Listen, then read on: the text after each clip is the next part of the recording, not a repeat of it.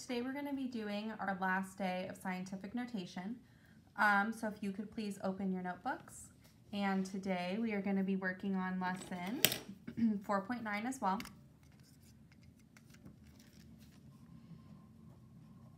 And then I know we went over the quiz that I think half of you took, um, but today we're going to be doing another scientific notation review. So if you just want to write scientific notation review.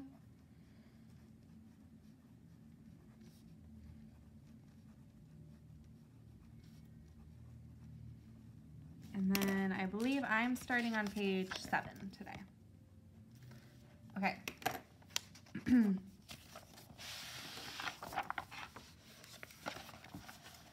today is March 30th.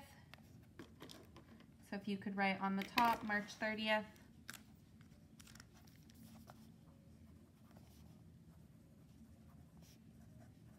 And then 4.9, scientific.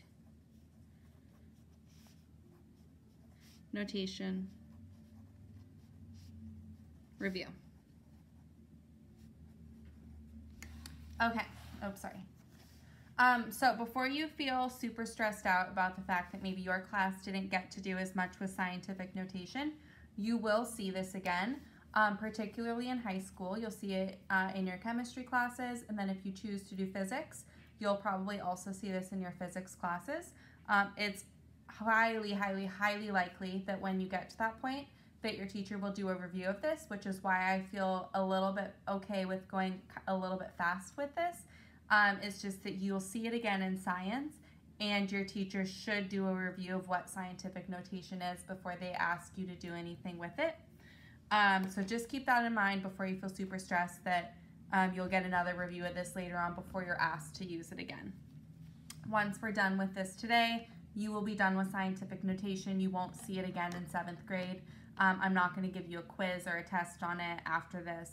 So just know today, follow along, do your Khan Academy, and then you get to say adios to scientific notation until you see it again in high school. Um, so before we get started on operations with scientific notation, I just want to quickly go over the two different ways that we write numbers when referring um, to scientific notation. So let's say that I have the number um, 320 million.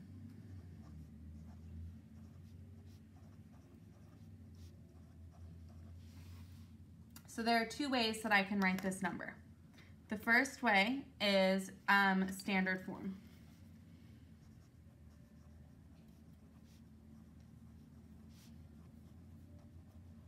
And standard form is the number written out fully. So it would be 300 20 million. The second way that I can write it um, is in scientific notation.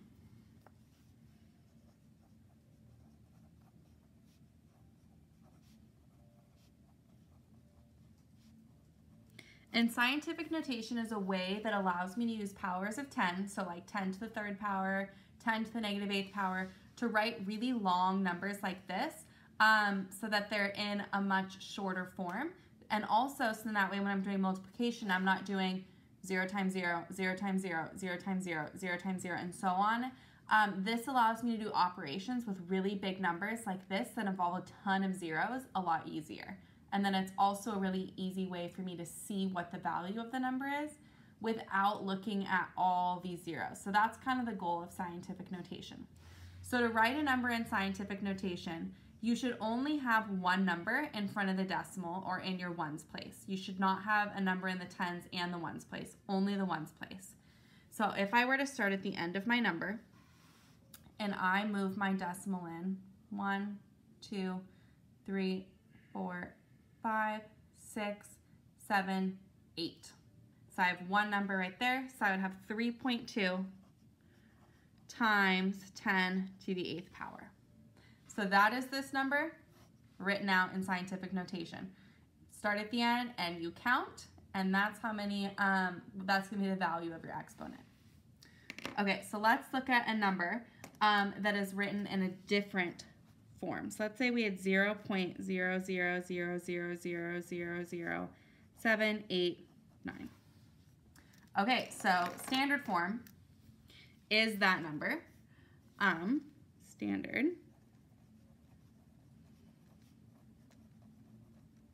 So we had, oh gosh, how many zeros did I just write? One, two, three, four, five, six, seven. Okay, so we had seven zeros. And then seven, eight, nine. So scientific notation.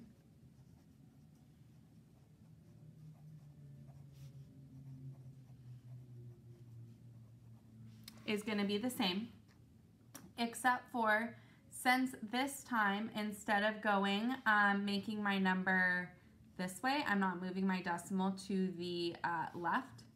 I'm moving it to the right. Uh, my um, exponent is going to be negative. So I move it to the right, it makes my exponent negative. When I move it to the left, it makes it positive. So I start here, and I go one, two, three, four, five, six, seven, eight. Okay, sorry, I didn't realize I used the same value, but um, that's okay. So we get here 7.89 times 10 to the negative 8. So if my number started out as a decimal, I'm going to be negative. If it started out not as a decimal, I'm going to be positive. So that's kind of a way to think about it. Okay, so now let's get into operations. We're going to start with multiplication. We did this in our last video briefly, um, but I'm going to do another example to hopefully help you understand how to multiply um, numbers that are written in scientific notation, which is actually much easier than asking you to multiply these two numbers together. If I ask you to multiply them in scientific notation, it's way easier. Okay, so let's start. Um, so multiplying with scientific notation. So let's say I have 4.8 times 10 to the fourth power times 3.2 times 10 to the, let's do um, third power. Okay, so step one is to multiply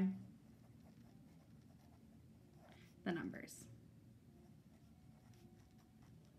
So that would be these. So I'm going to multiply 4.8 times 3.2. I'm not going to do this whole multiplication, but when you do, you get 15.36 or 36 hundredths if we wanted to say that uh, mathematically correct. Okay, step two, multiply powers of 10. So here we have 10 to the fourth times 10 to the third. Uh, you hopefully know your exponent rules. So when I multiply um, numbers that have the same base, their exponents get added. So that becomes 10 to the 4 plus 7, or sorry, 10 plus 4 plus 3. Oops. And so that becomes 10 to the 7th. Okay, lastly, I rewrite. And one thing that's important here is when I rewrite it, it's important that I only have one number in front of decimal. So here, I'm going to have a little bit of work to do because I can't have 15. So let's say I start and I just say it's, okay, it's 15.36 times 10 to the 7th. So this isn't allowed. I'm not allowed to have two numbers in front of my decimal place. So what I'm going to have to do is I'm going to move it to the left, which we learned up here. When I move it to the left, it increases the value of my exponent, um, which is going to add one over here. So I move it to the left and it adds one over here. Another way to think about it is um, think about it in terms of balancing. So I divided it by 10 over here, so I have to multiply it by 10 over there and I now have 1.536 times 10 to the 8th. Okay, so that's multiplying. So now let's go over dividing, which is very similar. It's just I changed these two to now divide. Okay. So let's say my new number for dividing with scientific notation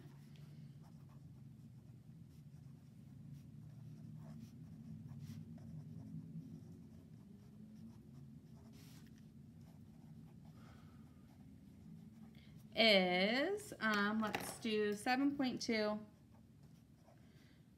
times, um, sorry, we're going to rewrite that. 7.2 times 10 to the 8th divided by 2 times 10 to the 4th. Okay, so step one, divide the numbers. So I do 7.2 divided by 2.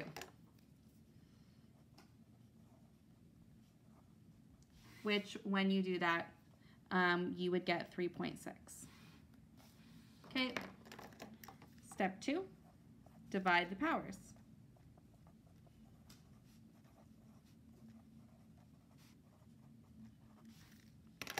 So I have 10 to the 8th divided by 10 to the 4th, which if you remember our exponent rules, that means I subtract 10 to the 8 minus 4, which is 10 to the 4th. And then step 3 is to rewrite. So I take my 3.6 times 10 to the 4th. And since I only have one number in front of my decimal place here, I don't have any work to do. That is it in my Maserati sports car. God knows stress, I've been through all that. I'm like a